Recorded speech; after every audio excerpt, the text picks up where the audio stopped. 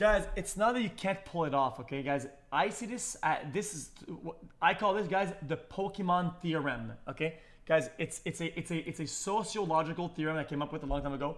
I thought I called it the Pokeball theorem.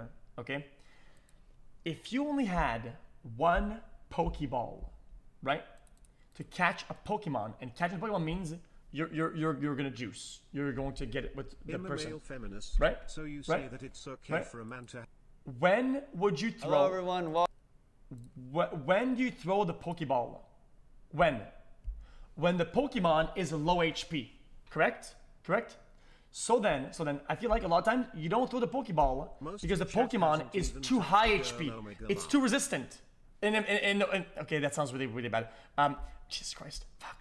Um, 27 months Bogo people say Fuck, that sounds really bad. Female friend about Fuck. if they asked and they were single. Okay, let me reformulate. Let me reformulate this. Okay. Yeah, Let me re- let me let me rephrase this. Let me rephrase that. Okay. Is that is that um the chance of you losing that friendship and her walking away from your life forever, right? And you not getting the juice is too high. When the friendship is solidified, right? And you will feel comfortable and like, oh, it was just, just a joke, it was just whatever, right? I feel like when you're when you're built up on that strong, then you can throw the Pokeball, and even if you don't catch it, the Pokemon won't run away.